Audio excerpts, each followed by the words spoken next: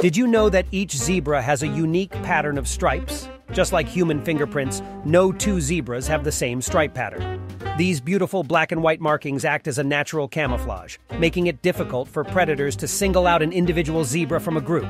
The stripes also serve another purpose. They help regulate body temperature. The black stripes absorb heat while the white stripes reflect sunlight, creating a cooling effect.